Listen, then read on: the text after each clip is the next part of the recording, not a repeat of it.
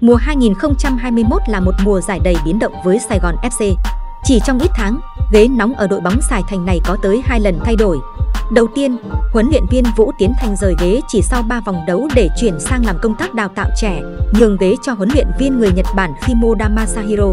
Tuy nhiên, dưới bàn tay của nhà cầm quân người Nhật Bản, Sài Gòn FC đã thi đấu không mấy thành công và buộc lòng bầu bình phải thay đổi ghế huấn luyện một lần nữa. Theo đó, trợ lý Phùng Thanh Phương được đôn lên cầm quân thế chỗ huấn luyện viên Shimoda Masahiro.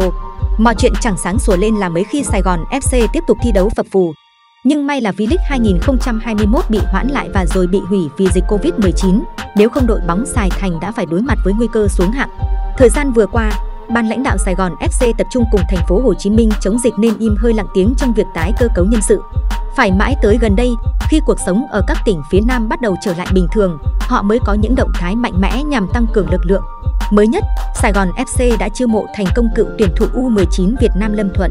Sáng ngày 7 tháng 12, website chính thức của đội bóng Sài Thành đã đăng tải hình ảnh tiền vệ người Khmer này đặt bút ký vào hợp đồng với sự chứng kiến của huấn luyện viên Phùng Thanh Phương. Lâm Thuận trưởng thành từ lò đào tạo PVF và là thành viên của U19 Việt Nam tham dự vòng chung kết U19 Đông Nam Á 2016. Còn nhớ khi ấy, tiền vệ cao 1m74 này đã bị nhầm là người Campuchia. Số là khi quan sát thấy Lâm Thuận tập luyện cùng đồng đội U19 Việt Nam trên sân nhằm chuẩn bị cho trận bán kết gặp U19 Australia. Một phóng viên người Campuchia đã hỏi huấn luyện viên Hoàng Anh Tuấn về chàng tiền vệ này rằng anh có phải một cầu thủ đến từ Campuchia được tập luyện cùng đội bóng hay không. Tất nhiên huấn luyện viên Hoàng Anh Tuấn mỉm cười và xua tay. Đó là một học trò của đội U19 Việt Nam chúng tôi. Việc Lâm Thuận bị nhầm là người Campuchia có lẽ cũng là điều không bất ngờ. Chàng tiền vệ quê Bình Phước này vốn dĩ là người dân tộc Khmer.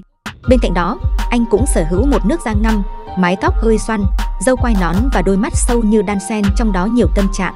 Bản thân Lâm Thuận cũng thường được các đồng đội từng tập luyện ở lò đào tạo PVF như Trọng Hóa, Văn Hòa, Minh Dĩ hay Tiến Dụng trêu là cầu thủ chạy cánh quốc tế, Lâm Thuận. Cùng thời điểm ký hợp đồng với Lâm Thuận, Sài Gòn FC cũng cho ra mắt hai gương mặt khác gồm Nguyễn Hữu Sơn và Nguyễn Văn Sơn.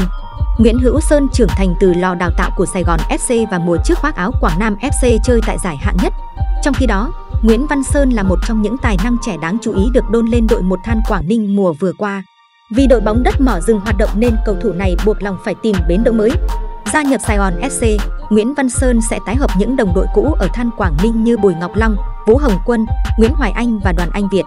Như vậy tính tới lúc này, Sài Gòn FC đã chiêu mộ 8 tân binh.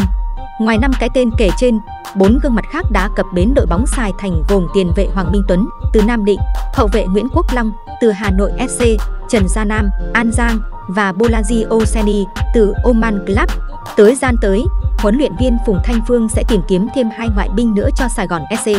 Theo tiết lộ, một trong hai gương mặt ông nhắm tới là Paper Omar Faye. Chân sút 34 tuổi người Senegal này đã có nhiều năm thi đấu tại V-League và vừa hết hạn hợp đồng với Bình Dương. Paper Oma Faye có chiều cao ấn tượng lên tới 1m88, rất mạnh về không chiến cũng như khả năng hoạt động độc lập.